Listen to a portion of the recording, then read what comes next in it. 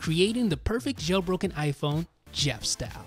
Number one, you need Asphaleia 2. This allows you to lock down your device, secure it with Touch ID or with the passcode. You can secure individual apps or all apps in one fell swoop.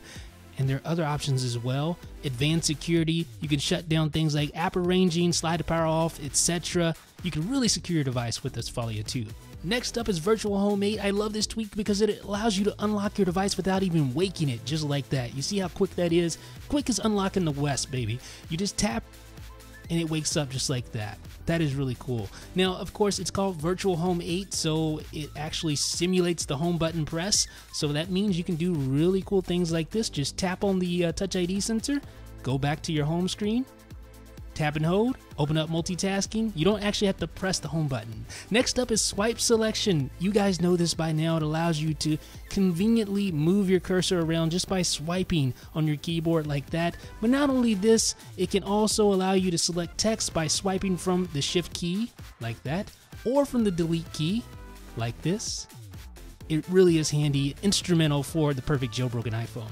Next up, 3G Unrestrictor. Don't you hate it when you get messages like this? Well, with 3G Unrestrictor 5, you don't have to worry about that. You can still download apps while you're on LTE or 4G. Uh, even if they're over 100 megabytes, it doesn't matter. You can see Real Racing 3, which is over a gig, is downloading on LTE. Next up, Safari Downloader Plus. This is an awesome tweak. It allows you to download anything via Safari. And I literally mean anything. You can see I'm downloading the Windows 10 ISO file, which is well over two or three gigs. Uh, directly via Safari. And then I can manage that download just by tapping the download button. You can see it there. Progress is happening on LTE, folks.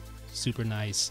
iFile is great for managing those downloads. It's also great for installing deb files. So if someone or a developer sends you a deb file, you can pretty much install it instantly just by tapping on it, so you don't have to enter any terminal commands or anything like that. Not only this, but you can manage file attributes. You can swipe to delete a file if you want to, just like that.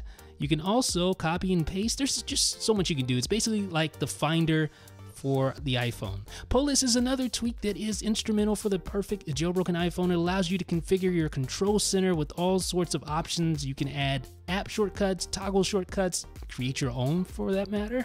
So if you want to create your own custom button with activator actions, you can do that. And you can see I have a highly customized control center right there. Now, swipe for more is absolutely necessary for the perfect jailbroken iPhone if you download lots of Cydia tweaks. This allows you to continuously queue up Cydia tweaks right from the changes tab. You don't have to go into each individual tweak. This makes downloading, uninstalling, reinstalling everything so much faster on Cydia. It is absolutely necessary for those of you who like to download lots of Cydia tweaks.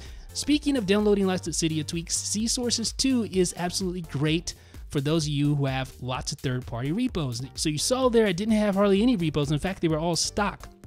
But there's more than meets the eye here. I actually have tons of repos. CSources 2 allows you to individually enable or disable repos on the fly like this. And watch what happens, folks. What I tell you, more than meets the eye there. I have tons of repos that just weren't enabled. Thanks to CSources 2, I have them all back in just a few seconds.